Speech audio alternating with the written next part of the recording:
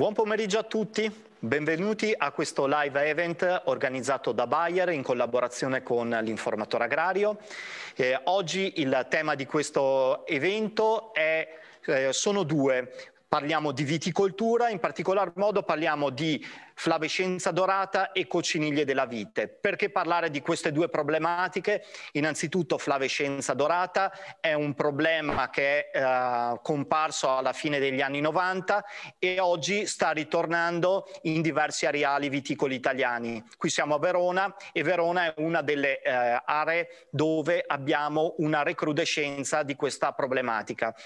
E, però parleremo anche di cocciniglie, cocciniglie della vite che sono appunto un problema sempre più emergente e eh, che stanno destando ehm, problematiche nella gestione. Quindi oggi avremo un momento formativo proprio su queste due tematiche. Parleremo di flavescenza dorata e quindi del suo vettore o dei vettori come vedremo più tardi e parleremo di cocciniglia. Eh, Chiaramente siamo in uh, modalità uh, online, come ormai da molto tempo ci capita, però abbiamo connessi con noi il professor Nicola Mori dell'Università di Verona. Buongiorno Nicola eh, il dottor Enrico Marchesini di Agrea Centro Studi, buongiorno Enrico, e la dottoressa Silvia Casalini di eh, Bayer. Eh, con loro cercheremo di affrontare queste due problematiche cercando di capire quali sono le criticità, ma allo stesso tempo cercare di individuare quali sono le soluzioni per una corretta gestione.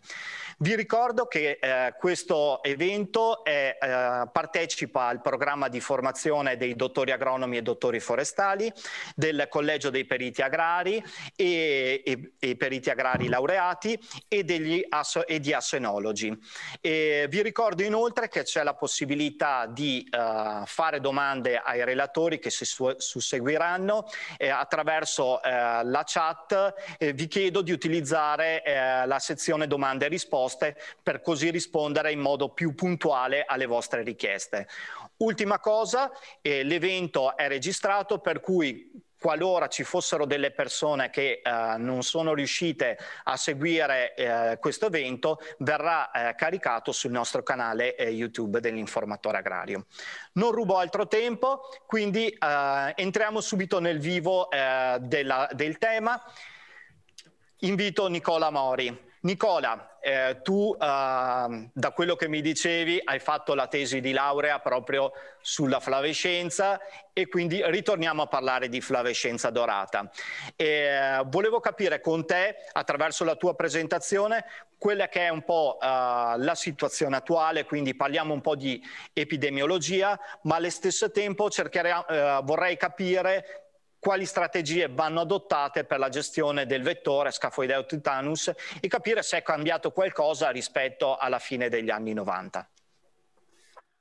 Grazie Gian Antonio di questa presentazione e di avermi ricordato che più di quasi 30 anni che lavoro sullo stesso argomento, quindi spero di non essere noioso, ma noioso non lo sarò perché di fatto ci sono dei cambiamenti Chiedo se posso condividere lo schermo.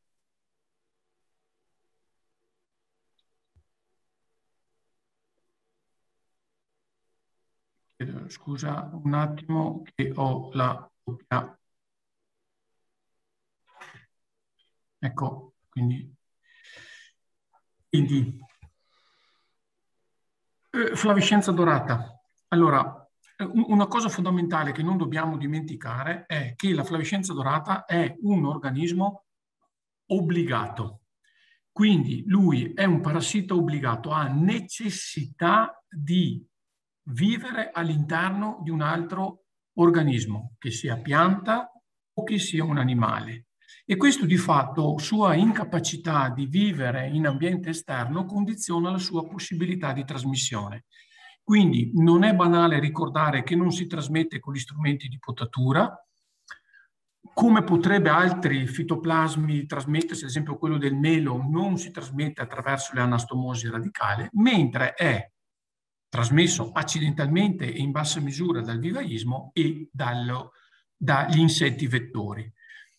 La flavescenza dorata ha un tipo di trasmissione che fino a poco tempo fa era considerata esclusivamente a ciclo chiuso, cioè una, una cicalina che vive esclusivamente su vite, nel caso specifico lo Scaphoideus titanus, acquisisce il fitoplasma da vite infetta e lo trasmette a vite sana, quindi la trasmissione vite a vite. Recentemente è stato dimostrato che altre cicaline che non vivono su vite e quindi dette occasionali possono trasmettere in maniera aperta, cioè in un senso solo, la flaviscenza dorata da piante arboree arbustive presenti nell'agroecosistema vigneto. In ogni caso, comunque, il vettore principale, quello che poi trasmette il ceppo specifico di flaviscenza dorata, e qui non so poi se avremo tempo di discutere perché la flaviscenza dorata è un insieme di ceppi, alcuni vivono su, sulle piante arboree, alcuni solo sulla vite, ma di fatto da questa trasmissione aperta poi viene amplificata flavi, dallo Scaphoideus titanus. Il dottor Armentano diceva bene, c'è una recrudescenza. Il perché? Perché ci sono questi nuovi vettori? Perché la gente è cambiato. Magari la flaviscenza dorata in questi anni è mutata, i diversi ceppi possono essersi evoluti, oppure anche il principale vettore, lo Scaphoideus titanus, come vedremo di fatto dagli anni 60, da quando è stato eh, segnalato per la prima volta in provincia di Imperia da Vidano nel 64, in questi anni ha di fatto cambiato il suo rapporto con la pianta e probabilmente anche il suo rapporto col fitoplasma. Ma probabilmente può essere anche che eh, ci sia il cambio generazionale. E quindi di fatto gli agricoltori che io seguivo negli anni 90, i propri figli, ora conduttori, non ricordandosi dei disastri epidemiologici che ci sono stati in Veneto, ma in molte regioni, non solo italiane ma anche europee, di fatto hanno un po' abbassato la guardia e quindi sottovalutato quelle poche viti presenti. Sicuramente il cambio di strategia dovuto alla revoca di alcuni prodotti e all'aumentare di alcuni mezzi di, di, di lotta che non parlo di efficaci o non efficaci, ma di fatto non c'è allo stato attuale su vite una strategia che possa essere un unico intervento per più target. Di fatto, probabilmente anche come vedremo dopo, parliamo di interventi specifici per target specifici. Quindi c'è stato un cambiamento nelle strategie di difesa. Questo problema, ci tengo a dire, non è nazionale, perché a livello eh, recentemente è uscito un lavoro dove vedete qui che un gruppo nutrito di ricercatori, tra cui anche italiani, ha cercato di mettere insieme più informazioni per capire, per dare delle risposte che ad oggi non ci sono, di queste nuove emergenze epidemiche in Europa. E di fatto anche sul sito della EPO la flaviscenza dorata rimane un organismo da quarantena posto sotto attenzione.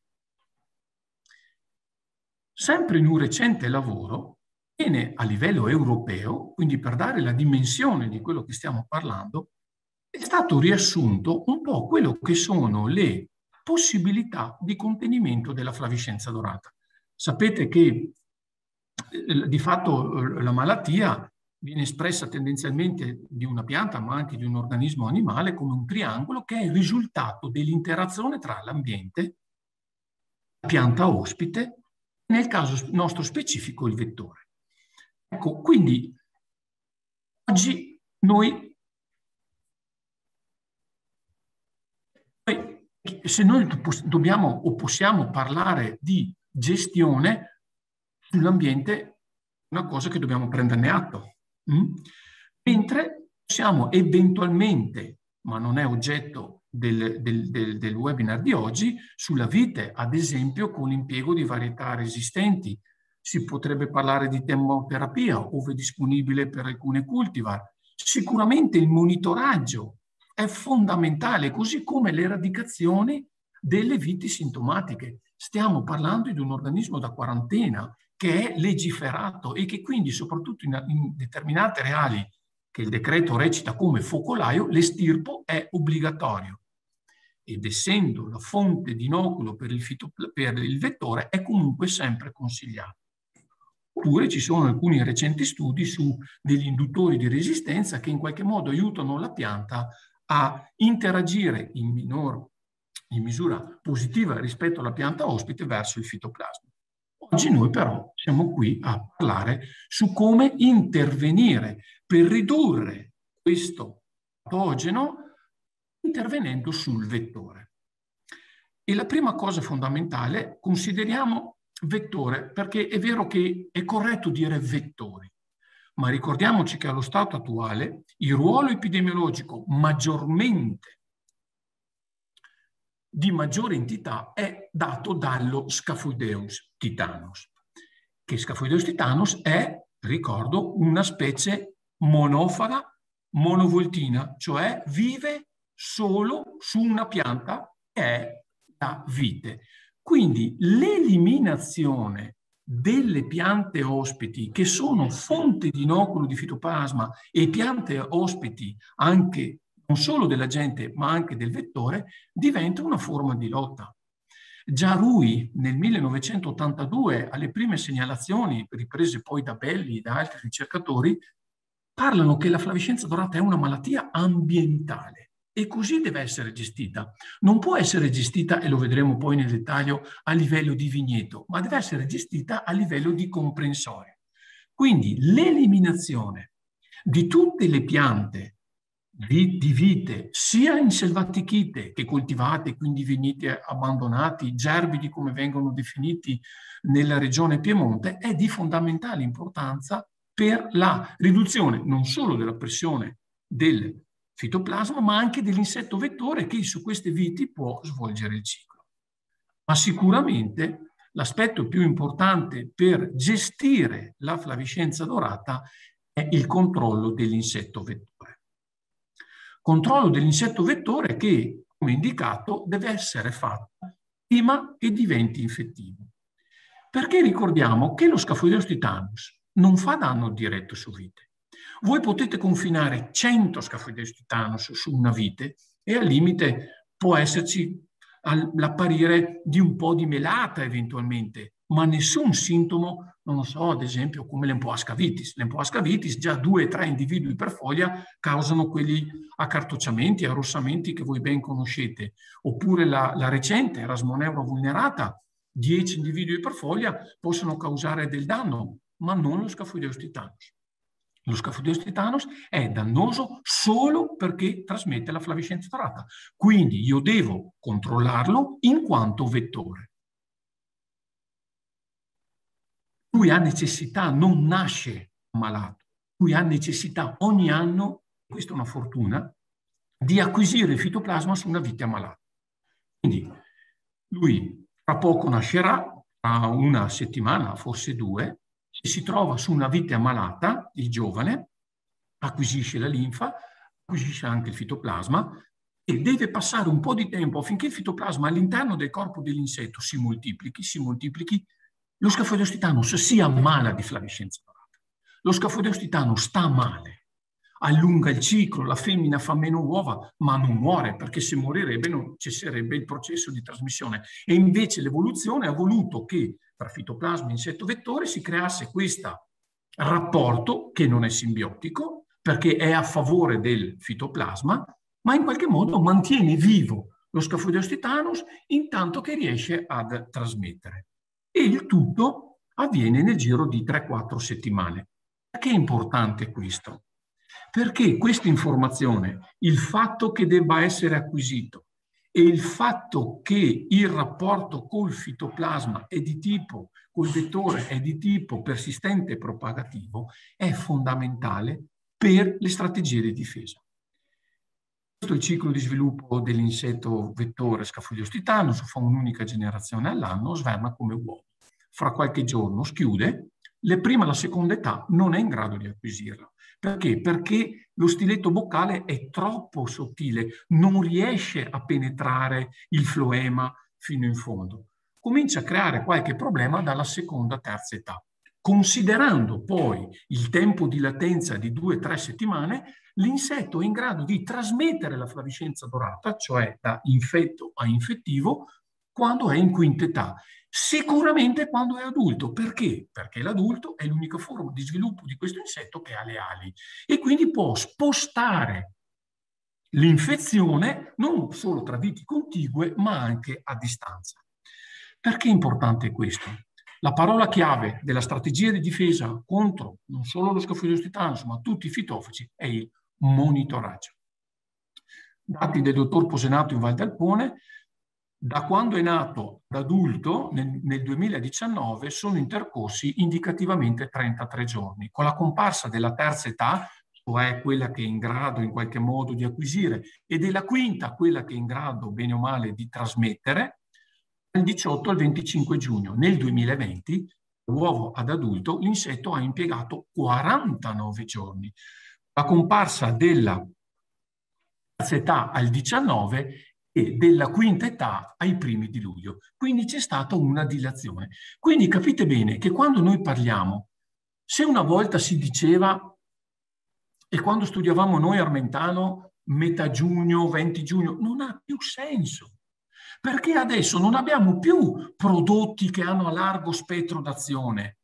Adesso abbiamo prodotti specifici che, come dopo penso verrà detto, hanno funzionano se posizionati in una determinata finestra temporale. Quindi parlare di date nel 2021 non ha senso. Dobbiamo parlare di fenologia dell'insetto. Ecco che allora in una strategia di difesa integrata, dove siamo in fase endemica, epidemica, cioè dove le popolazioni di Scafoideus titanus sono elevate e soprattutto è elevato il numero di piante sintomatiche, cioè la fonte di inoculo, qui necessariamente, probabilmente, dato che abbiamo un lungo periodo di ovidioposizione, il primo trattamento ha fatto alla comparsa della, della terza età, nell'intervallo terza-quinta età, sicuramente prima dell'inizio del volo degli adulti. Dopodiché, essendo la scalarità anche in funzione delle temperature, quindi il continuo monitoraggio è essenziale, non solo trovo la prima età, trovo la terza età, trovo la quinta età e li imposto. Dopo vale a seconda ovviamente del, della sostanza attiva, quindi in una gestione integrata epidemica diciamo che uno, due interventi, ovviamente il secondo è in relazione al monitoraggio. Di fatto, invece, nell'agricoltura biologica, in considerazione della termo e fotolabilità delle molecole, o anche se vogliamo della minore efficacia, perché stiamo parlando di botanica, o comunque di sostanze che rispetto a quelle di sintesi chimica sono meno efficaci, e perché meno efficaci dobbiamo applicarle più volte. E quindi qui dobbiamo, in considerazione del fatto e dobbiamo prevenire la presenza della quinta età adulto, è chiaro che l'intervento viene fatto leggermente anticipato e dopo, a seconda della sostanza attiva, ogni 7 o 10 giorni. Diverso è se invece siamo in una situazione endemica, cioè dove la malattia è in qualche modo gestita, quindi le popolazioni del vettore sono basse, così come anche la presenza di piante sintomatiche.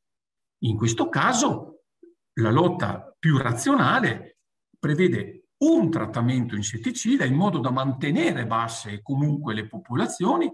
Qui il tempo ovviamente varia e l'importante è non andare sulla presenza degli adulti, quindi prevenire, quindi posizionare indicativamente intorno alla quinta età e nel caso della viticoltura biologica sempre il doppio interventi se necessario, anche qui cercando eventualmente di anticipare il primo.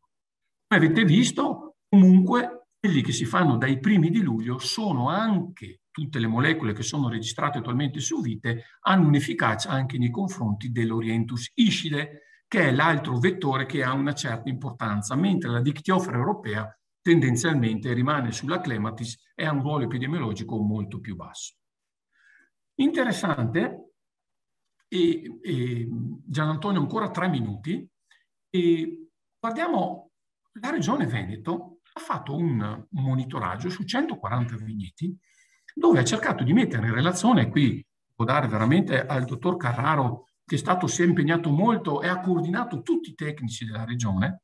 E questo che trovate, ho preso le slide che trovate sulla regione Veneto, Vedete ad esempio qui, due piretri naturali hanno, hanno sortito un ottimo risultato, mentre tre piretri naturali non hanno sortito il risultato sperato. Questi sono catture. Così come vedete sotto i convenzionali, addirittura tre interventi con prodotti di efficacia contro i giovani di scafoideus titanos non hanno sortito l'efficacia sperata.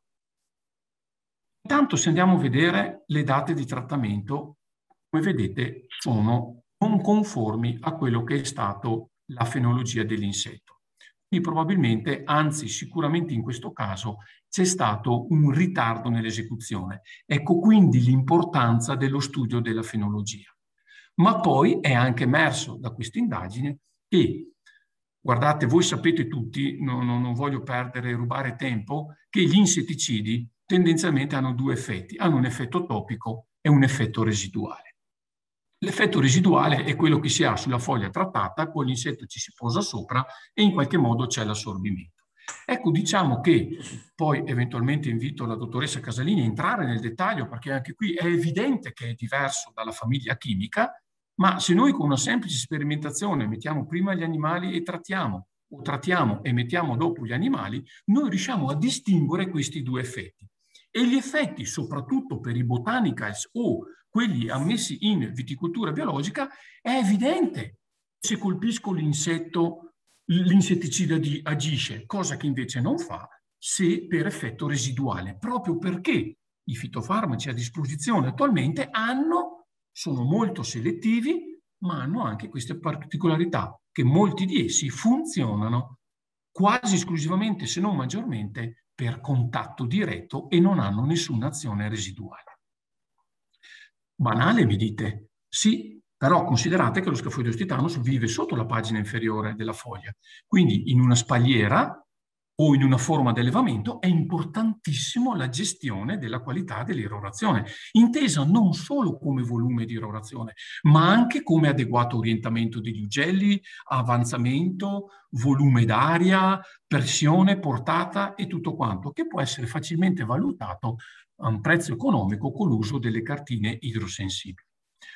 Un altro aspetto molto importante è da considerare che noi andiamo a trattare un animale che cambia l'etologia da giovane ad adulto. I giovani tendenzialmente vivono, nascendo in prossimità del tronco e avendo bisogno di tanto azoto, loro vanno, diciamo, preferibilmente sulle parti che sono verdi in attiva crescita, nel caso specifico i polloni. Abbiamo dimostrato che la spollonatura ha un effetto sulla densità di popolazione, che se noi andiamo a spollonare, di fatto otteniamo una forma di lotta agronomica, se volete anche di bassa entità, per carità 10-15%, ma che in una gestione integrata aiuta. Ma oggi voglio, voglio portare la vostra attenzione su questo fatto che abbiamo osservato l'anno scorso. Guardate questo video fatto dal eh, dottor Posenato, questa è la, una, un ceppo di vite su una uh, pergola. Vedete lo scafoideus titanus? Di fatto lo usa come un ascensore. A seguito di cosa? Questo è il vigneto oggetto in una densità di popolazione molto alta, avevamo 3-4 individui per foglia, questa è la quantità di pioggia. Guardate, dopo una pioggia abbattente, i giovani sono caduti. I giovani sono caduti e sono per qualche giorno, li abbiamo trovati, come vedete qui, su trifoglio, tarassaco, su piante di cotiledoni. Quindi è vero che è monofago, ma per qualche giorno vive bene nel coticorboso. Oppure dopo questa pioggia di 50 mm, guardate, ha abbattuto da 4 a 1,5. È chiaro che se io sono intervenuto, o fossi intervenuto il giorno dopo la pioggia correttamente per difendere la peronospora, avrei di fatto mancato, se non per effetto di deriva che cade, di colpire l'insetto. E quindi torniamo alla qualità delle applicazioni in considerazione della presenza dei polloni e dell'evento meteorologico che può in qualche modo influire sulla presenza dell'insetto. Velocemente poi dobbiamo considerare anche la, che gli adulti, è stato dimostrato dal gruppo di Torino due anni fa, sono in grado di acquisire, di fare la latenza e di trasmettere in pochi giorni.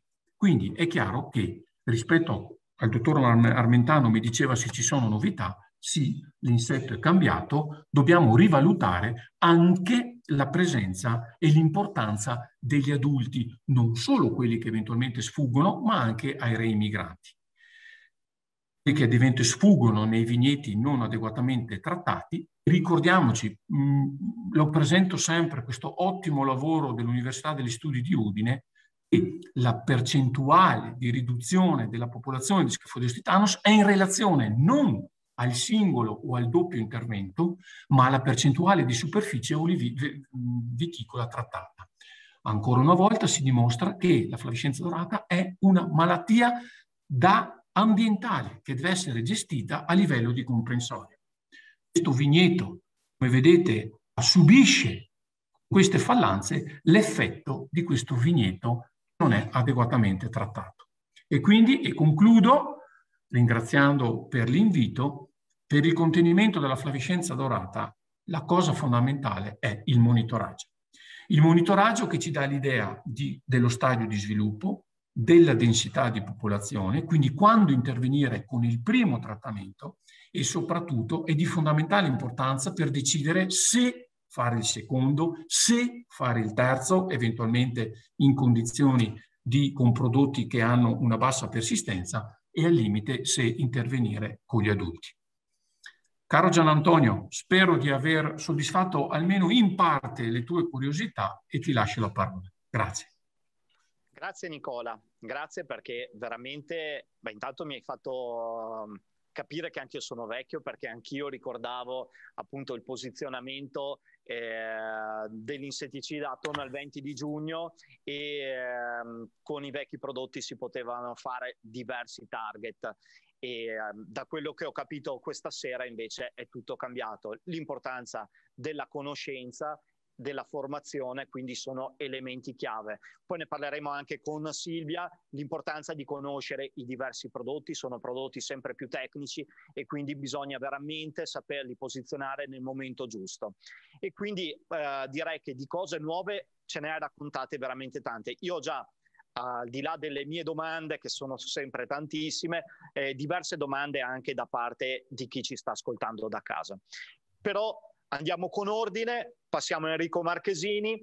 Enrico, con te invece vorrei parlare di cocciniglie e quindi eh, affrontare un altro tema eh, che crea delle criticità per i viticoltori a livello nazionale. Quindi con te vorrei fare un po' un excursus di quelle che sono le specie eh, maggiormente presenti e anche con te ti chiedo che cosa c'è di nuovo sulle cocciniglie, quali sono quelle più temibili. Eh, sì, buonasera a tutti, ringrazio anch'io dell'invito per uh, trattare questo argomento che riguarda le cocciniglie della vite, diciamo tra vecchie conoscenze e nuovi invasori, perché in effetti possiamo proprio dire che eh, le, le cocciniglie della vite appartengono a tre raggruppamenti importanti, i pseudococidi, chiamati anche cocciniglie farinose, i cocidi o cocciniglie a grano e i diaspidi cocciniglie a scudo.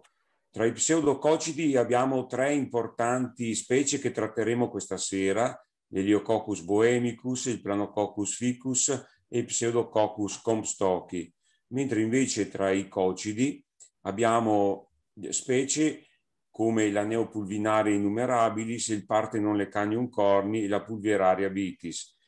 Nell'ambito di diaspidi abbiamo, che sono coccinigli a scudetto, la Targionia vitis.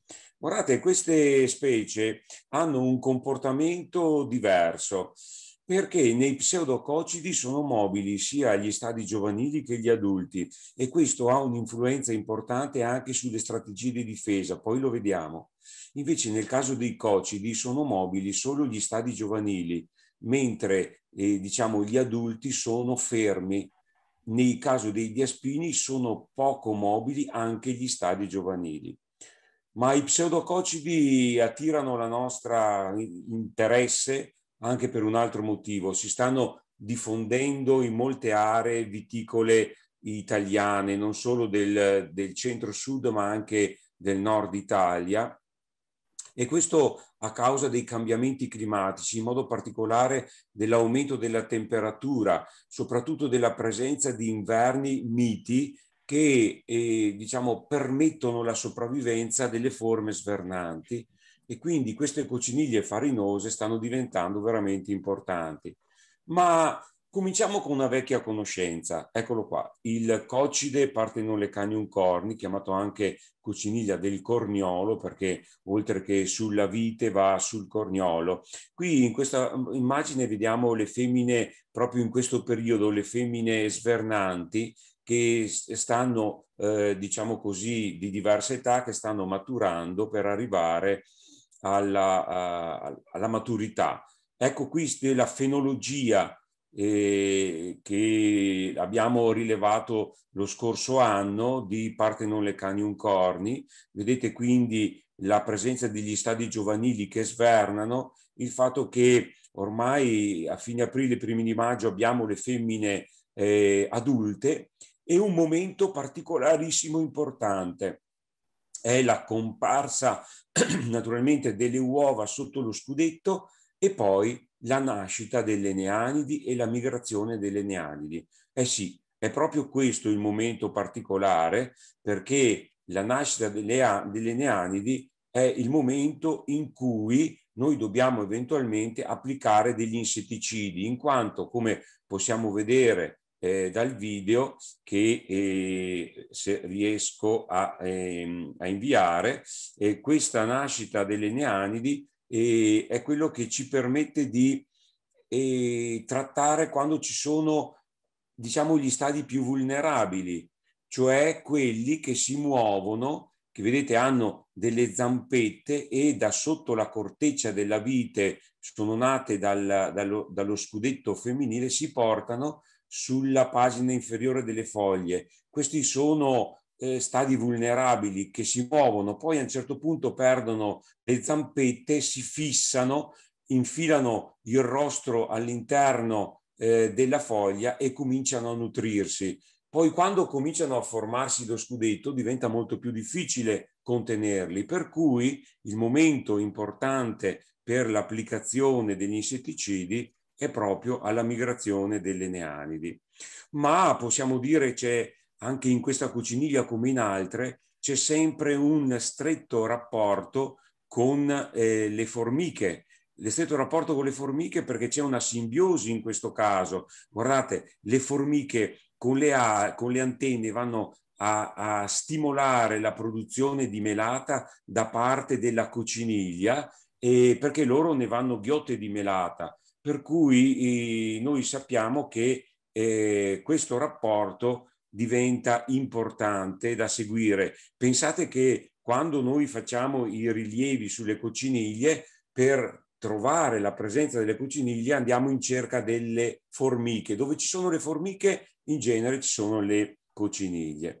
Parliamo anche rapidissimamente di una nuova specie, di una specie, diciamo, la Neopulvinare innumerabilis, che è, è meno diffusa, che però si riconosce bene perché eh, vedete la femmina che ha uno, è una femmina grossa, eh? lo scudetto addirittura si alza perché guardate la, la, la, diciamo, il sacco vigero, che dimensione, il numero di uova, migliaia di uova presenti all'interno di questo sacco e poi il rapporto sempre stretto con le formiche.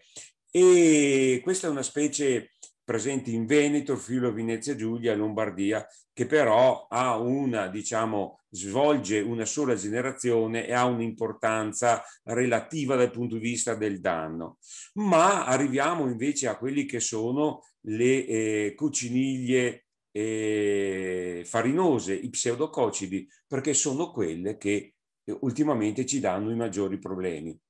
Allora è importante anche quando si va in campo riuscire a distinguere queste tre principali specie. Il Pranococcus ficus, vedete, è una cuciniglia che è ricoperta di pruina biancastra, però ha la caratteristica di avere dei corti raggi cerosi, sono 18 paia lungo, vedete, tutto il corpo, mentre invece Eliococcus bohemicus è caratterizzato da questi lunghi sottili filamenti dorsali e invece il Pseudococcus comstocchi si distingue per queste due codine, cioè per due lunghi raggi cerosi anali. Però vi faccio vedere eh, al volissimo delle eh, video che ci aiutano a distinguere. Ecco qua, una femmina matura che ha prodotto l'ovisacco ceroso bianco dove all'interno ci sono le uova da cui sono nate le neanidi. Adesso questo si sta verificando in questi giorni.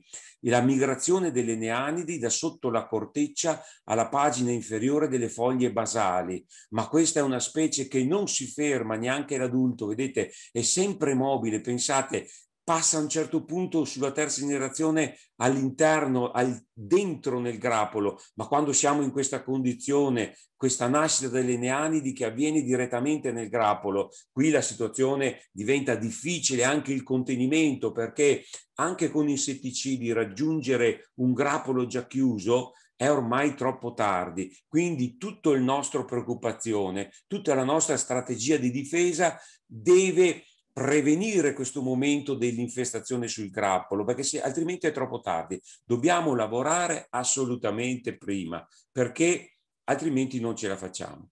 Guardiamo invece Eliococcus bohemicus. Vediamo se queste immagini ci aiutano a vedere la differenza di, queste, di questa specie. Di questa specie che ha, vedete, queste femmine presentano dei eh, raggi dorsali, vedete, molto lunghi, questi filamenti molto lunghi. Questa è una femmina, vedete, guardate questi filamenti di queste femmine, ma è una specie particolare perché non produce l'ovisacco ceroso come fa Planococcus ficus, ma pensate, le uova vedete, nascono all'interno del corpo della femmina ed escono direttamente, è un ovo vivipara, per cui se voi non trovate l'ovisacco vicino alla femmina, ma direttamente le neanidi, significa che non si tratta di Planococcus ficus, ma di Pseudococcus eh, di Heliococcus bohemicus, come vediamo in queste immagini. Infine vi faccio vedere una specie che diciamo è piuttosto recente, ma negli ultimi anni ha dato di grossi problemi in diverse regioni, non solo in Veneto, ma anche in Emilia-Romagna e anche in Trentino. Si tratta di Pseudococcus comstocchi, una specie nota su altre piante come il melo, il pesco, il kiwi, che però ultimamente, ripeto, in questi ultimi anni ha dato dei problemi. Qui vediamo della compattazione di terra da parte delle formiche dove pensate allevano dentro le, le femmine. Questa è ecco, una femmina con l'ovisacco pieno di uova di colore giallo intenso fino all'arancione Qui vediamo una femmina con i, le codine su, direttamente su grappolo, qui vediamo un ovisacco ancora, ed c'è un momento molto importante, eccola qua, la nascita delle neanidi, la nascita di un organismo nuovo è sempre un momento delicato, un momento importante. Per noi capire la nascita delle neanidi è importante. Qui guardate, abbiamo le femmine direttamente all'interno del grappolo, anche questo quando si verifica e siamo in questa situazione, guardate lo, lo schizzo di melata di questa femmina all'interno del grappolo, perché la produzione di melata in questo caso è abbondantissima con la formazione poi di fumagine. Ma ripeto, quando siamo in queste condizioni di infestazione al centro, all'interno del grappolo, ormai è troppo tardi per un efficace contenimento di questa specie. Bisogna assolutamente lavorare prima. E guardiamo la fenologia, perché come è stato detto anche per altri insetti, la fenologia, il monitoraggio di questi insetti diventa importantissimo perché lo sviluppo delle diverse stadi dipende molto dall'andamento climatico. E vedete adesso Planococcus ficus svernano le femmine di diversa età, a un certo punto si producono le uova, e adesso dove siamo? Ai primi di maggio. Siamo alla presenza delle neanidi e alla migrazione delle neanidi.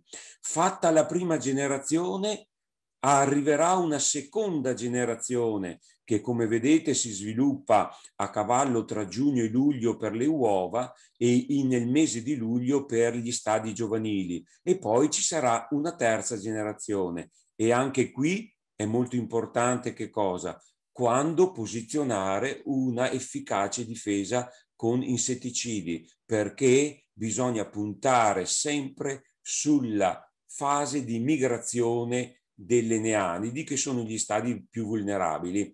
Qui diventa ancora più difficile rispetto a prima, perché questa è, è, è una specie mobile, mobile non solo nelle neanidi, nei giovani, ma anche negli adulti. Quindi bisogna essere sempre molto attenti a quello che succede e alle diverse fasi di sviluppo.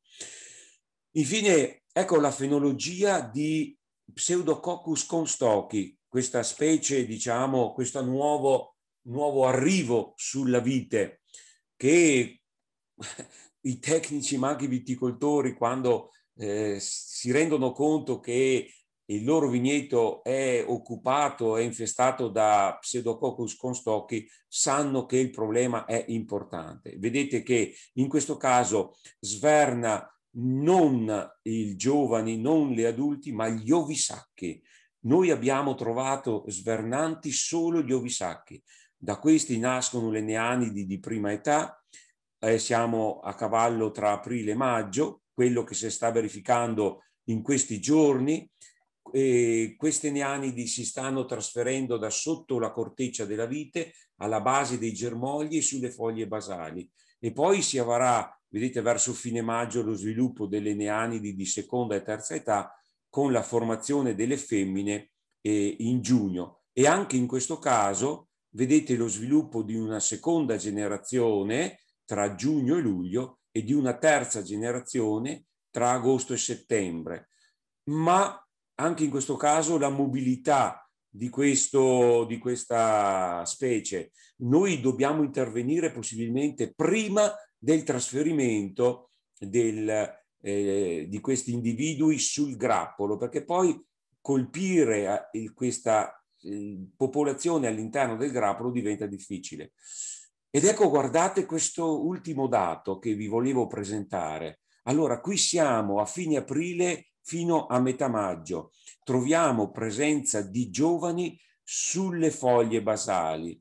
Poi cosa succede da fine maggio fino alla prima decade di giugno? Pensate, questi, anche gli stessi individui si trasferiscono e ritornano sotto il ritidoma della vite, si riparano lì, ok?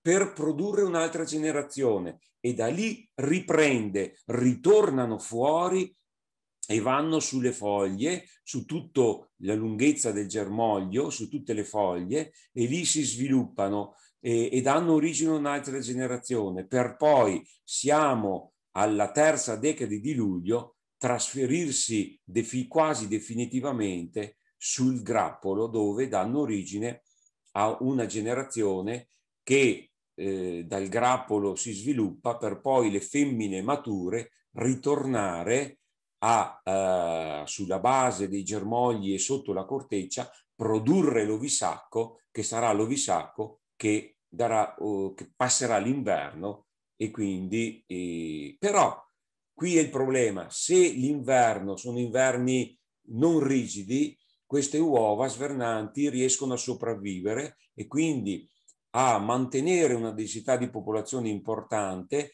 per la primavera successiva.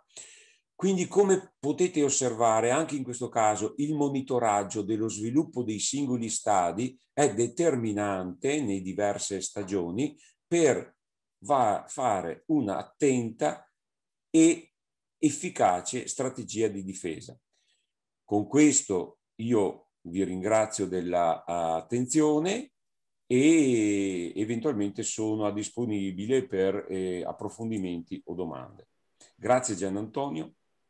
Grazie Enrico, grazie. Come sempre complimenti per i tuoi video che sono sempre spettacolari e uh, ci hai fatto anche tu un quadro completo di quelle che sono le eh, cocciniglie che possono determinare problemi alla vite.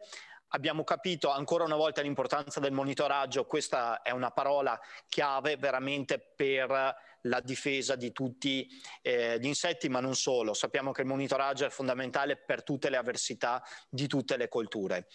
Fino adesso però abbiamo parlato di criticità, ora passiamo a quelle che sono le soluzioni che vengono proposte da Bayer.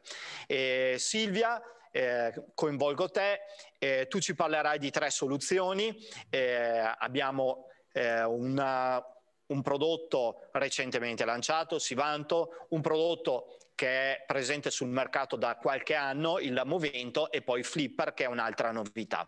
Raccontaci un po' quelle che sono le caratteristiche di queste tre soluzioni, ma soprattutto eh, ti chiedo di dare delle indicazioni veramente pratiche su come vanno impiegati verso i diversi target. Sì, grazie a tutti, spero che vediate il mio schermo. E quindi sì, nei prossimi 20 minuti eh, cercherò in maniera super sintetica di darvi delle informazioni di rilievo su queste tre soluzioni insetticide per la vite. Sivanto, che è il nostro prodotto registrato contro le cicaline, è in corso di estensione su cocciniglie e su fillossera. Movento, eh, il nostro prodotto registrato contro cocciniglie, fillossera e afidi, e Flipper, eh, la nostra novità biologica, eh, registrata contro cicaline, acari e tripidi. Inizio con Sivanto che eh, è stato registrato nel 2019 ed è diventato in un paio di anni un po' un uh, riferimento in viticoltura, soprattutto nelle zone che sono colpite da Scafoideus. Questa è la scheda tecnica del prodotto, parliamo di flupuria di furone, di una nuova famiglia chimica, quella dei butenolidi, un formulato liquido eh, che è registrato su numerose colture, eh, per quanto riguarda la vite abbiamo attualmente la registrazione su cicaline e abbiamo, come dicevo prima, in corso di registrazione anche le cocciniglie e la fillossera. Si applica per quanto riguarda Scophoideus titanus a eh, mezzo litro ettaro un trattamento l'anno. Uh, vediamo se gira la mia presentazione. Gira, sì. Le caratteristiche distintive del prodotto, ho cercato di riassumerle in una slide, Sivanto ha attività sia sistemica che translaminare. Di conseguenza è un prodotto che eh, riesce a conferire una protezione immediata ma anche duratura di tutta la pianta. È un prodotto che ha una buona persistenza di azione, abbiamo visto attività anche fino a 25 giorni dalla sua applicazione e una buona resistenza al dilavamento. Abbiamo visto eh, in alcune prove efficacia del 100% anche dopo, eh, dopo piogge di 20 mm, per esempio, a due ore dal trattamento. La caratteristica di Sivanto, che poi eh, illustrerò anche nella slide dopo, è la massima rapidità di azione, quindi ha un'attività molto veloce di interruzione dell'attività trofica dell'insetto e questo è molto importante perché evita chiaramente la trasmissione di fitoplasmosi o di virosi alla pianta. Abbiamo fatto numerose prove sia su Scaphoideus titanus, sia sui giovani che sugli adulti, avendo eh, degli ottimi risultati di efficacia, ma non solo Scaphoideus titanus, anche la nuova eh, cicalina che imperversa eh, nel nord-est d'Italia, l'Erasmoneura vulnerata, e abbiamo anche eh, di, discrete esperienze sulle cocciniglie. Dicevo, il prodotto è in estensione. Eh, ultimo, ma non ultimo punto, eh, la eh, selettività del formulato, un formulato che rispetta gli impollinatori e i principali insetti utili del vigneto. E ho una slide dedicata anche su questo argomento. Dicevo, eh, la caratteristica di eh, prontezza di azione del Sivanto che eh, noi abbiamo brandizzato con questa, eh, questo slogan, il fast feeding cessation, cioè l'interruzione dell'attività trofica del, del, formulato. Sostanzialmente Sivanto in meno di 10 minuti riesce a interrompere l'attività di, eh, di, suzione degli insetti, questo è molto importante per, i, per interrompere la trasmissione appunto di virosi o fitoplasmosi. Dicevo il rispetto degli insetti utili. Un insetticida moderno oggi assolutamente non può esimersi da eh, questa caratteristica di selettività, data anche eh, ormai la, mh, mm, il fatto che si mm, fanno sempre più lanci di insetti utili in viticoltura. Qui vedete una tabella della ehm, IOBC, con la classificazione IOBC, in cui eh, si fa vedere la selettività su vari insetti utili. Noi abbiamo fatto anche delle esperienze eh, proprio dirette, proprio in collaborazione con Agrea eh, su Campimodromus aberrans, che è considerato oggi un po' l'acarofidoside più affidabile, per, per, esempio per il controllo biologico degli acari, tetranichidi e degli eriofidi in viticoltura e abbiamo avuto degli ottimi risultati. Ma non solo eh, fitoseidi, anche coccinellidi, imenoidi parassitoidi, imenotteri parassitoidi. E abbiamo anche delle eh, prime esperienze molto confortanti sulla selettività eh, di Sivanto verso l'Anagirus pseudococci, che è un parassitoide del Planococcus ficus. Quindi un, un profilo veramente ehm, verde, diciamo così, per quanto riguarda la selettività sugli utili. Una prova veloce, qui una prova fatta sempre in collaborazione con ehm, Agrea su Erasmoneura vulnerata, un'applicazione fatta il 27 di luglio, vedete la linea viola, l'abbattimento della popolazione che inizia a risalire dopo un mese dal trattamento, quindi efficace anche contro questa eh, cicalina. Il posizionamento tecnico su vite, diceva prima il dottor Mori, non esistono le date e infatti io l'ho scritto nel riquadro che ho evidenziato, l'impiego sullo scafoideus si, basa, si effettua in base al monitoraggio e alle indicazioni degli enti ufficiali. Assolutamente monitoraggio fondamentale come è già stato ampiamente detto. Eh, in questo posizionamento eh, noi consigliamo il posizionamento contro le fasi giovanili di eh, Scafoideus per eh, avere un abbattimento proprio precoce della popolazione, evitando poi danni gravissimi successivi eh, alla vite. Ehm, chiaramente ho scritto anche che il prodotto è efficace sugli adulti e quindi poi la scelta eventuale del posizionamento è in mano ai tecnici. Comunque eh, abbiamo avuto degli ottimi risultati anche grazie alla lunga persistenza di azione, andando a posizionare Simanto nel primo eh, trattamento contro Scafoideus. Super rapida su Sivanto, parlando di cicaline, però vi devo anche citare la nostra soluzione ammessa in agricoltura biologica, Flipper.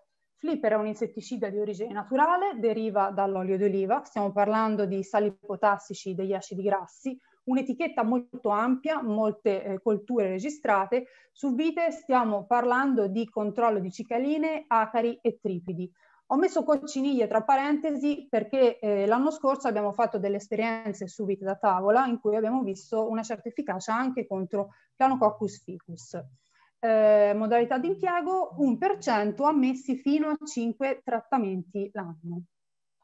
Il meccanismo di azione è multiplo, non ancora perfettamente conosciuto. Flipper è un prodotto che funziona per contatto, questo è fondamentale dirlo, quindi eh, l'insetticida deve essere correttamente distribuito e deve raggiungere l'insetto. Una volta che entra in contatto con l'insetto si ha una penetrazione attraverso gli strati cuticolari e con questa penetrazione si ha un'interferenza con i principali processi metabolici dell'insetto, co come conseguenza eh, si ha la, eh, praticamente eh, lo stop dell'attività trofica anche in questo caso e quindi l'insetto non si alimenta più e non può più arrecare danni sia alla cultura che sia diretti alla cultura che indiretti come quelli di trasmissione di virosi e fitoplasmosi. Questa è una proposta in agricoltura biologica, noi consigliamo una o due applicazioni a sette giorni, il prodotto è posizionabile eh, sia sugli stadi giovanili che sugli adulti, considerando che stiamo parlando di un prodotto mh, che funziona per contatto e eh, non si può quindi pretendere lo stesso livello di efficacia di prodotti eh, che funzionano mh, diversamente come prodotti per esempio sistemici. In questo caso la qualità della distribuzione, lo diceva già il dottor Mori, è fondamentale mh, più che mai, la bagnatura, ma non solo la bagnatura, bisogna assolutamente orientare gli ugelli dove si trovano gli insetti, quindi eh, abbiamo visto sui polloni, eh, per esempio nel caso delle fasi eh, giovanili, e fare una, eh, appunto usare un volume d'acqua eh, adeguato. La selettività assolutamente importante distingue eh, flipper da per esempio le piretrine naturali che sono molto utilizzate in agricoltura biologica ma assolutamente sappiamo non essere selettive, invece anche in questo caso classificazione IOBC vediamo la buona selettività di Flipper. Anche in questo caso abbiamo fatto delle esperienze molto positive sul eh, Campimodromus aberrans e anche sul eh, Tiflodromus piri. Quindi alla fine eh, eh, il viticoltore ha a disposizione uno strumento in più che è ammesso in agricoltura biologica ma si integra perfettamente anche in una strategia integrata, è un prodotto esente da residui normati, non ha tempo di carenza e rispetta l'ecosistema del vigneto. E adesso cambio insetto e parlo di eh, controllo della cocciniglia e quindi parlo di Movento. Movento è eh, una delle nostre Ferrari, così le chiamiamo in azienda, eh, tra gli insetticidi. Eh, è un prodotto che ha eh, ampio utilizzo in frutticoltura ma il suo utilizzo sta crescendo anche in viticoltura a causa dell'espansione appunto della problematica delle cocciniglie in particolare, ma anche della fillossera. Stiamo parlando di Spirotetramat, una sospensione concentrata registrata su oltre 40 colture, un'etichetta molto ampia, molto completa, su vite, eh, dicevo, la registrazione su cocciniglie, Planococcus ficus e Comstochi, su fillossera e su afidi. La dose di impiego un litro e mezzo ad ettaro per due applicazioni ammesse all'anno. Il meccanismo di azione di, mm, di Movento è molto particolare perché eh, funziona solo per ingestione e non per contatto, nel senso che lo spirotetramat, cioè la, il principio attivo di Movento, non è la forma attiva contro gli insetti, è la forma che viene assorbita dalla pianta e poi all'interno della pianta viene trasformata in spirotetramat enolo, che si ridistribuisce all'interno dei vasi e viene ehm, assorbita dagli insetti che si nutrono dei contenuti cellulari ed è in quel caso che eh, ha azione insetticida. E va da sé che questa caratteristica, che il prodotto non abbia azione eh, per contatto, lo rende un prodotto veramente selettivo nei confronti di tutti quegli insetti utili predatori che si nutrono di altri insetti. Caratteristiche distintive, stiamo parlando anche qui di una famiglia chimica unica sul mercato, i chetoenoli, quindi un meccanismo d'azione che è strategico per la gestione eh, delle resistenze, la doppia sistemia del prodotto, cioè un prodotto che è capace di circolare sia nell'oxilema che nel floema e questo lo rende unico sul mercato. E che cosa implica questo? Implica che abbia una durata d'azione molto prolungata, anche un mese eh, di durata d'azione dalla sua applicazione, che riesca a proteggere tutti gli organi, anche quelli più nascosti, vedi le radici, quindi molto utile nel caso di insetti subdoli che si vadano a nascondere in organi che sono difficilmente raggiungibili dagli insetticidi eh, tradizionali eh, il fatto che abbia questa doppia sistemia e lunga durata d'azione consente di proteggere anche la vegetazione che si sviluppa dopo il trattamento. E eh, come dicevo prima, una selettività spiccata sugli insetti utili, in particolare abbiamo dei dati per quanto riguarda l'Anagirus e il Cryptolemus, che sono dei predatori naturali delle cocciniglie. Quindi qui ho riportato di nuovo la classificazione IOBC da cui eh, si, può, si, capisce l'elevata selettività su questi artropodi utili che si nutrono dei parassiti loro prede e non delle piante trattate con movento e quindi sfuggono all'azione insetticida di movento. E eh, vado alla proposta insetticida, questa è una prima proposta, ehm, eh, suggeriamo di posizionare movento a partire dalla post fioritura contro cocciniglie e fillossera, normalmente per quanto riguarda Planococcus ficus e Comstochi andiamo ad intercettare la seconda generazione in questo modo. Successivamente eh, intervenire eh, con Sivanto, eh, anche qua eh, monitorando chiaramente eh, l'insetto e seguendo le indicazioni degli enti ufficiali, contro cicaline e cocciniglie. Oppure un'altra proposta eh, che vi facciamo è questa, è quella che integra a Movento e Sivanto anche la soluzione biologica di origine naturale Flipper. Eh, questa è una proposta per un viticoltore che ha esigenze magari di ridurre il carico chimico in vigneto e quindi utilizza un prodotto di origine naturale senza residui eh, normati eh, che può essere applicato contro cicaline, in questo caso contro eh, i primi stadi, eh, con efficacia anche su acari, che è un problema eh, che sta crescendo in viticoltura eh, a causa del ritorno all'uso massiccio di piretroidi, quindi eh, gli acari stanno purtroppo di nuovo crescendo. E in questo caso si sposta più avanti il trattamento eh, con Sivanto, che dicevamo prima ha anche una buona efficacia contro gli adulti. Quindi chiaramente poi la scelta dei prodotti e delle strategie va assolutamente tarata in base alle condizioni del vigneto e eh, alla pressione dei vari insetti target. E io con questo spero di essere rimasta nei tempi e ho concluso. Perfetto Silvia, sei rimasta perfettamente nei tempi. Eh, grazie per averci illustrato queste tre eh, proposte di Bayer per quanto riguarda la difesa da eh, cicaline e da eh, cocciniglie. E direi di aprire adesso una parte di dibattito, sono arrivate diverse domande e partirei proprio da te Silvia perché eh, è una, una, domanda che poi vi potrete eh, diciamo spalleggiare tu e Nicola Mori. E, mh, Viene chiesto qual è il quantitativo di acqua da distribuire ottimale. Ne avete parlato sia tu che eh, Nicola e eh, la domanda è proprio nello specifico per quanto riguarda i sistemi di allevamento a spalliera. Però dalla vostra esperienza quali sono i quantitativi ottimali per esempio per uh, le, so le, vostre soluzioni insetticide e poi invece a Nicola poi entriamo un po' più in dettaglio da un punto di vista proprio prettamente uh, tecnico. Eh, sì, allora per quanto riguarda le nostre soluzioni, eh, chiaramente le indicazioni sono tutte eh, riportate in etichetta. Eh, per esempio per quanto riguarda Sivanto si suggeriscono 800 litri d'acqua in etichetta. Poi si può anche andare a basso volume, quindi si può scendere sui 500, l'importante è rispettare in quel caso la dose a ettaro, quindi eh, in etichetta sono riportati dei volumi che magari in alcuni areali possono sembrare anche alti, perché adesso la tendenza è sicuramente quella di andare a basso o ultra basso volume, ehm, l'importante per il basso volume è rispettare sempre la dose a ettaro, sia eh, per Sivanto che per Movento.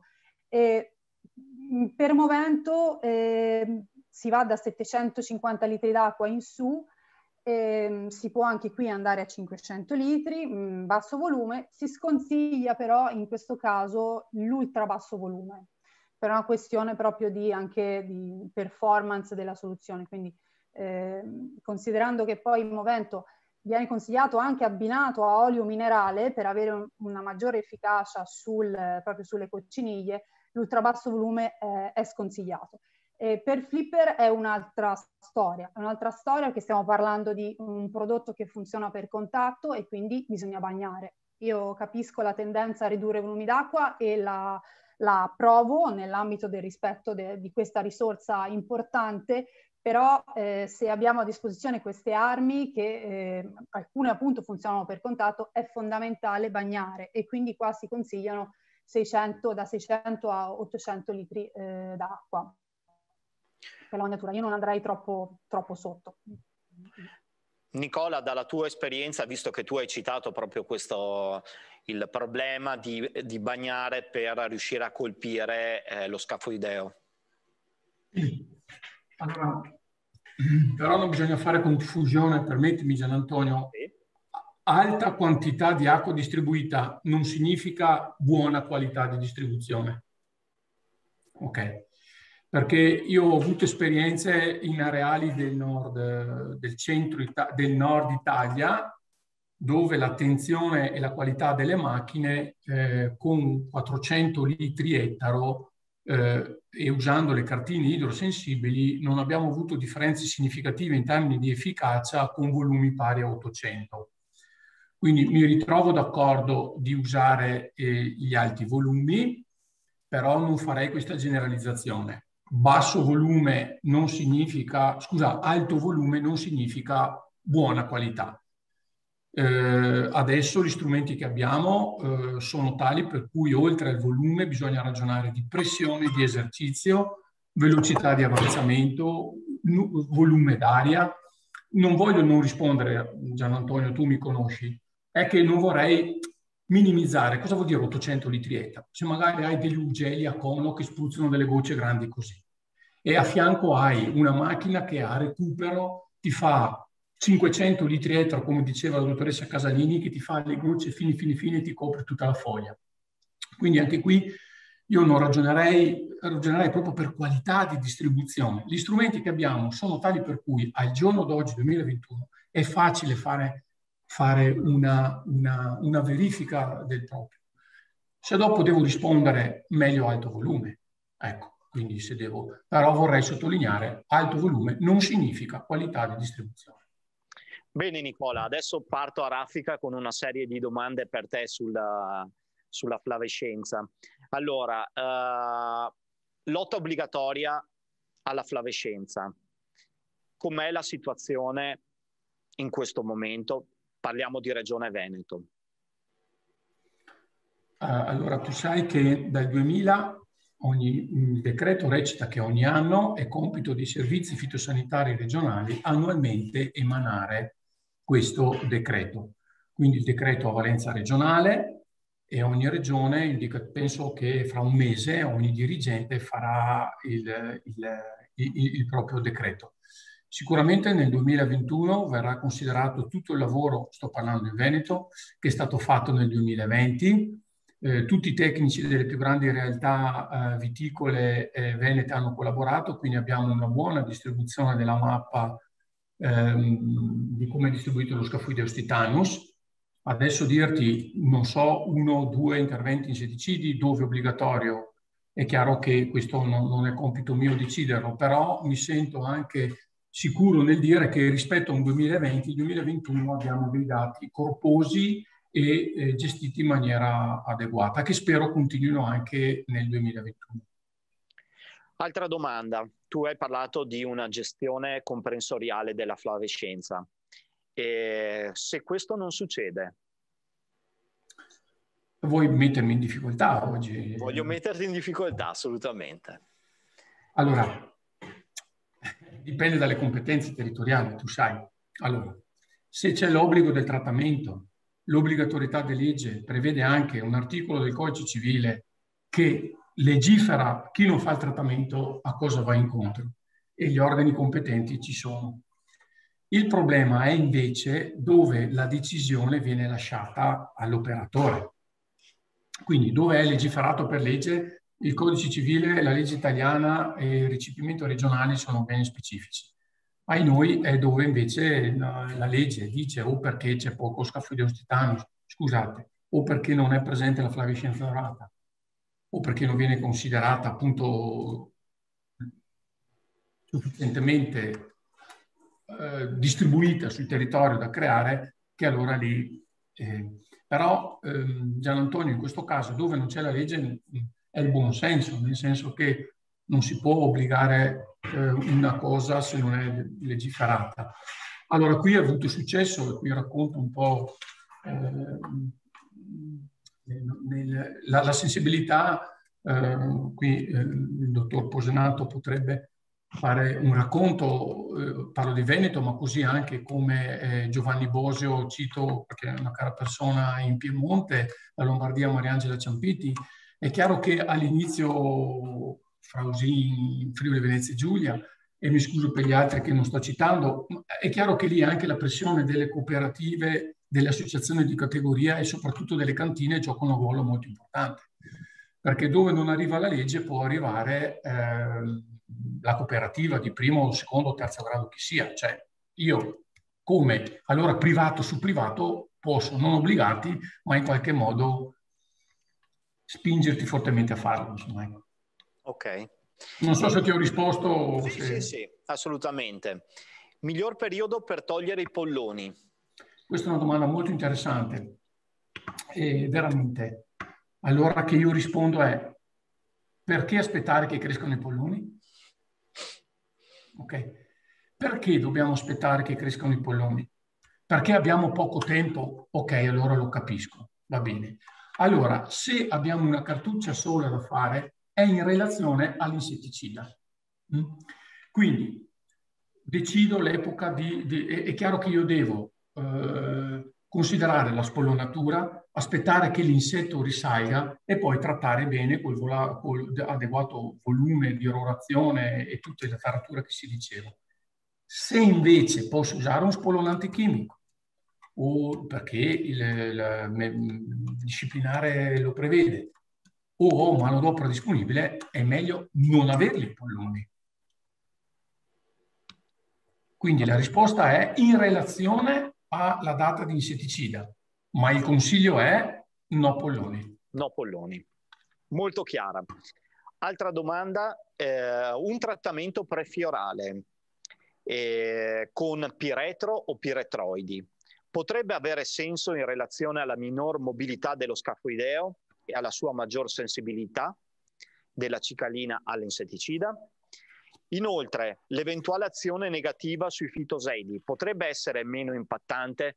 Poi in privato ti dirò chi è questo relatore, sì, questo mh, mm, spettatore che ha fatto la domanda.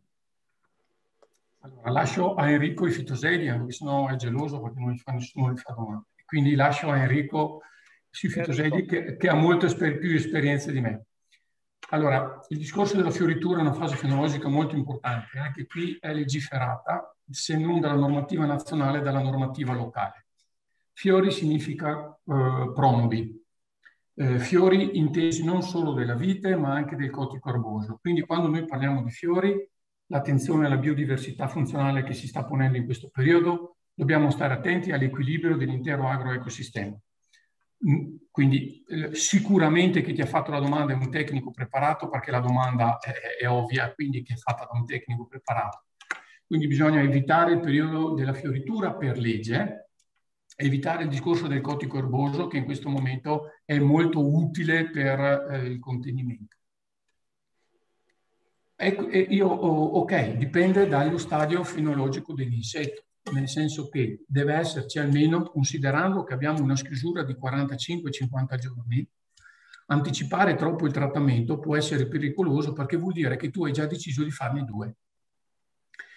Quindi eh, la, eh, pensare di intervenire in prefioritura, tu in, hai già messo in calendario che vuoi farne due. Allora, in questa strategia, no, è chiaro che eh, l'insetto più giovane è e più avete visto anche eh, la, la, la dottoressa Casalini meglio funziona, insomma, d'altra parte è, è più sensibile.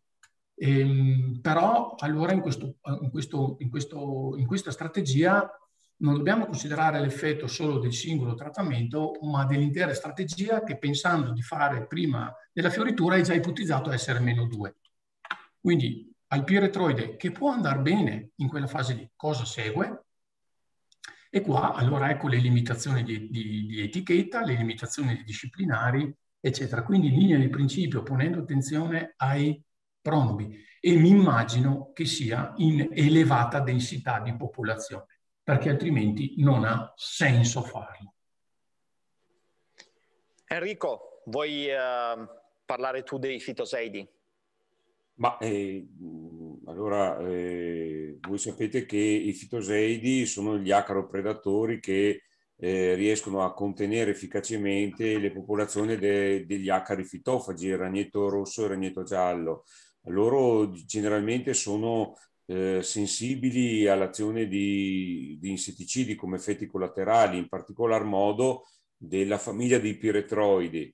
Poi bisogna vedere in che momento si tratta di fitoseidi, perché un trattamento, diciamo, in questo periodo, per esempio, dove abbiamo le femmine fecondate che escono dai ricoveri invernali, si portano sulle foglioline e lì cominciano a, fa- a deporre le uova eh, perché sono già state fecondate nell'autunno precedente, lì iniziano a determinare la nuova generazione se noi facciamo un trattamento in questi giorni o nel giro di dieci giorni, eh, abbattiamo fortemente le femmine che sono quelle che hanno il compito di ripopolare la vegetazione in rapida crescita. Quindi è deleterio il trattamento in questo momento. Viceversa, se io faccio un trattamento quando ho la popolazione di fitoseidi che si, si, è già diffusa su tutta la massa vegetativa e si è ampiamente diluita e aumentata come numero, ecco che l'impatto di un trattamento che ha effetto collaterale sui fitoseidi è minore. Resto da te eh, Enrico, che così un paio di domande anche per te. E tu hai parlato tantissimo di monitoraggio eh, per quanto riguarda le cocciniglie e se il monitoraggio non viene effettuato, come si può posizionare il trattamento contro le cocciniglie? Se, monitor... se allora... non viene fatto il monitoraggio. Se non viene fatto il monitoraggio in un'area, intendi? Sì. Ma eh, il monitoraggio in qualche modo eh, deve essere fatto perché la difesa integrata, la difesa sostenibile eh, non, non, la si fa con la, con la fantasia o col sentimento. E ci si trova l'amante col sentimento, ma eh, la difesa sostenibile eh, si fa con dei dati, eh, ma dei dati anche raccolti in maniera scientificamente corretta. Quindi bisogna che ci mettiamo tranquilli e che eh, ci, ma ci sono degli ottimi tecnici in tutte le aree che possono in qualche modo seguire un monitoraggio. Poi certo, il monitoraggio eh, richiede, richiede dedizione. Perché? Perché ci vuole del tempo da dedicare per fare queste osservazioni. Richiede anche passione per una cosa, perché per dedicarci del tempo ci vuole un po' di passione per delle... e anche, diciamo così, la curiosità nell'osservazione.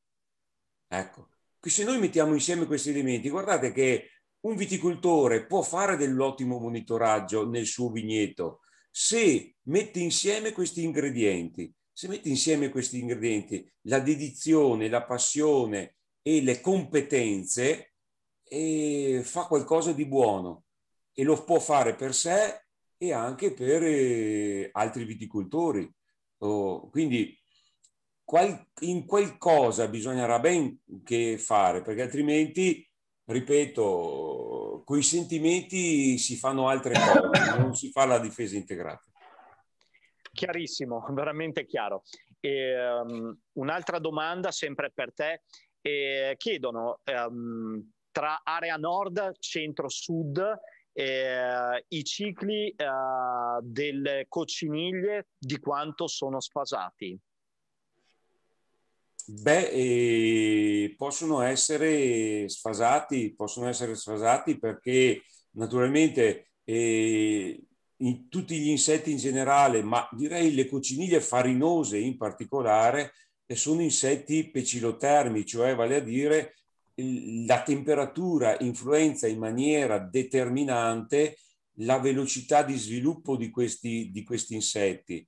Per cui è ovvio che nell'area eh, mediterranea del centro-sud Italia le temperature mediamente sono più elevate che al nord e quindi eh, la velocità di sviluppo di un insetto è, è, è più forte rispetto che nel nord, insomma.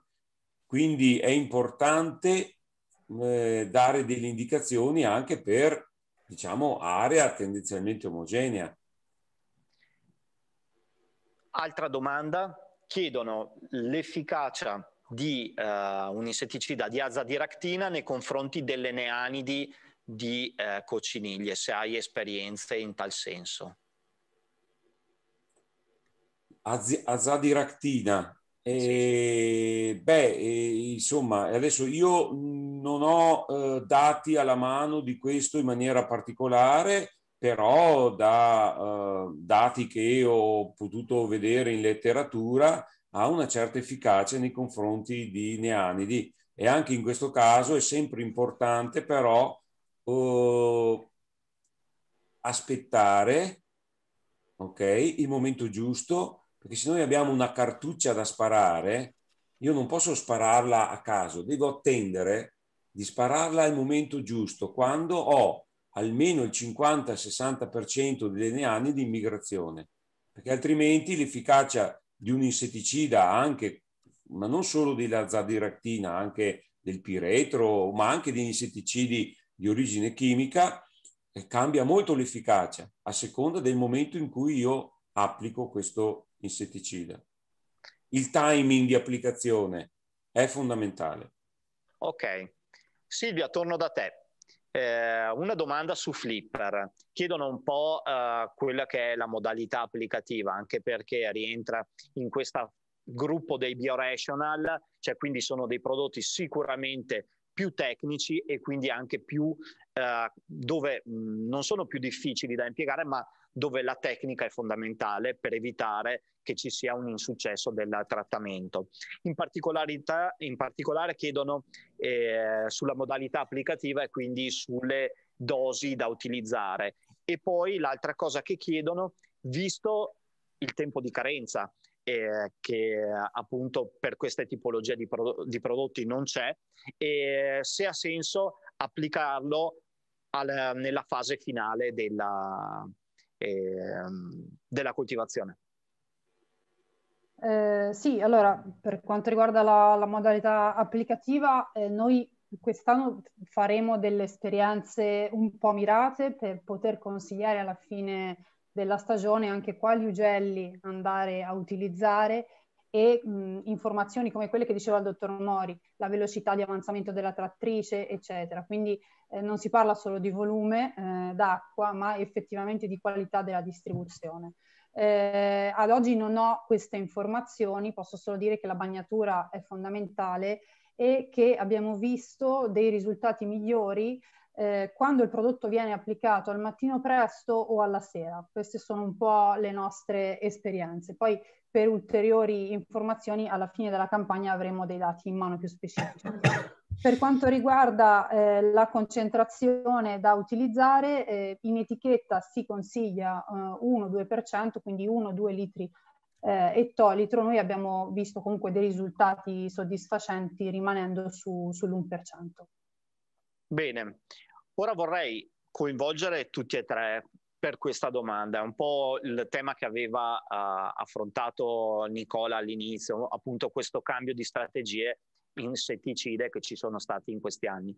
Eh, il problema delle resistenze sicuramente è un problema che può eh, creare dei problemi, soprattutto perché abbiamo pochi meccanismi d'azione disponibili. E, eh, qual è la strategia ottimale? Tu già Silvia ne ha, hai accennato, la, già avere due soluzioni eh, permettono di eh, diciamo, alternare i meccanismi. Eh, vorrei prima un parere da parte di Nicola ed Enrico e poi passare a te. Sì, la gestione delle resistenze in un momento in cui il portafoglio a disposizione si sta sempre più riducendo diventa fondamentale sulle cicaline abbiamo tre gruppi IRAC, il 3, il 4 e il 22, quindi di fatto abbiamo veramente 22, corretto eh, Silvia? Si vanto. Uh, oddio. Ah, ok. Perché a memoria tre. non me lo ricordo. Tre, tre. tre. Quindi di fatto, ecco, quindi di fatto, ecco, però dobbiamo considerare che lo scafoidio stitano sia monofogo, monovoltino, quindi di fatto abbastanza. Invece io la vedrei molto un po' più eh, di eh, difficile gestione per insetti di Enrico che fanno dalle due alle tre generazioni. Quindi è chiaro che la rotazione è, è fondamentale, soprattutto il rispetto delle dosi, eh, delle dosi, perché questo è, gli studi tutti sono riferiti a una dose che quindi bisogna stare attenti a usare la mezza dose più mezza dose, eccetera, cosa che italiche fantasie o italiche soluzioni venivano fatte in questi anni. Però passerei la parola a Enrico proprio per la difficoltà invece di gestione di un insetto polivoltino. Sì, direi che certo la, uh, non fissarsi su un'unica molecola con un unico meccanismo d'azione è importante, però se io penso alle cocciniglie, è importante anche un altro aspetto. Io posso eh, decidere di applicare una, una strategia di difesa integrativa sulle cocciniglie, integrata con diversi mezzi di difesa. E qui mi riferisco, per esempio, all'integrazione, alla sinergia che ci può essere tra mezzi di difesa biologici con l'utilizzo di nemici naturali perché se per esempio parlo di Planococcus ficus, come è stato detto prima, ci può essere l'impiego di un parassitoide o anche di un predatore e questo lo posso integrare con l'applicazione di insetticidi, ma bisogna che questi insetticidi siano o per il loro meccanismo d'azione o per l'epoca di applicazione rispettosi di lancio di parassitoidi o predatori che ho fatto. E questo è un aspetto molto importante perché ecco che allora se io integro diversi sistemi di difesa, così come aspetti agronomici e quindi fare attenzione alle concimazioni azotate, perché un eccesso di, di vegetazione legato a un eccesso di concimazione azotata porta a un aumento della presenza di cocciniglie, oppure anche è stato dimostrato l'irrigazione eccessiva porta a un aumento della infestazione da cocciniglie, soprattutto farinose. Quindi anche in questo caso ci sono diversi aspetti da considerare e da mettere insieme, perché quando si lavora all'esterno, si lavora in un agroecosistema, non c'è solo un fattore da tener conto, ma ci sono tanti fattori. Quindi sì, la, eh, diciamo così, l'alternanza la di insetticidi ha diverso meccanismo d'azione, ma soprattutto l'integrazione di mezzi di diversi di difesa che tra di loro possono trovare sinergia e dare dei risultati molto importanti. Silvia. Scusa Gian Antonio, prima non ho risposto alla domanda completamente, mi sono accorta adesso. Cioè, non so se, se posso rispondere adesso. L'efficacia dei flipper sugli adulti. Ah sì, eh, sì, cioè, sì. Mi, mi, sono, scu- mi, scuso con chi ha fatto la domanda. Eh, allora, dalle nostre esperienze abbiamo visto che il prodotto ha un'efficacia paragonabile a quella del piretro. Stiamo parlando di prodotti che funzionano per contatto e quindi che hanno un'efficacia comunque inferiore sicuramente all'80%, ecco, non, non di più. Ok, invece volevo appunto chiudere il giro sulla tematica delle resistenze. Quanto è difficile eh, appunto riuscire a trasferire questo concetto poi a, uh, ai vostri clienti fondamentalmente, perché voi attraverso la ricerca proponete delle soluzioni che però vanno tutelate correttamente. Assolutamente, noi stressiamo sempre il fatto di non sottodosare i prodotti eh, di rispettare gli intervalli applicativi eh, e di alternare sicuramente i meccanismi di azione. Eh, purtroppo vedo che per quanto riguarda il, il dosaggio, spesso ehm, in alcuni areali insomma, si prendono un po' delle iniziative, forse per risparmiare, non lo so, ma sono iniziative molto pericolose, molto pericolose, quindi rispettare sempre l'etichetta del prodotto. Bene, direi che siamo arrivati alle conclusioni di questo incontro. È stata un'ora e mezza molto intensa. Innanzitutto volevo ringraziare Nicola Mori, Enrico Marchesini e Silvia Casalini per le loro interessantissime eh, relazioni. Eh, ricordo a tutti i partecipanti che eh, chi avesse richiesto eh, l'evento eh, partecipa alla formazione di eh, agronomi periti agrari e di assenologi e che comunque la uh, registrazione dell'evento sarà disponibile sul canale YouTube dell'informatore agrario. Eh, ringrazio tutti quelli che sono rimasti connessi sino ad ora e vi auguro una buona serata.